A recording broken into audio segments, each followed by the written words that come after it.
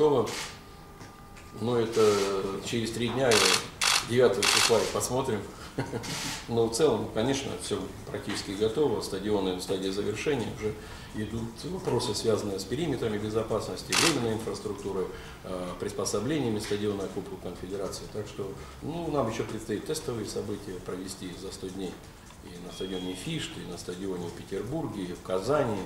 И «Спартак» постоянно у нас в тестовом режиме, там проходят матчи чемпионата России.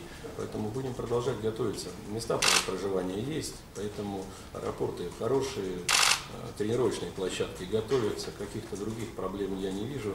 Волонтеры, мы завершаем подготовку, 5000 волонтеров отбирается. Поэтому серьезных проблем здесь я не вижу.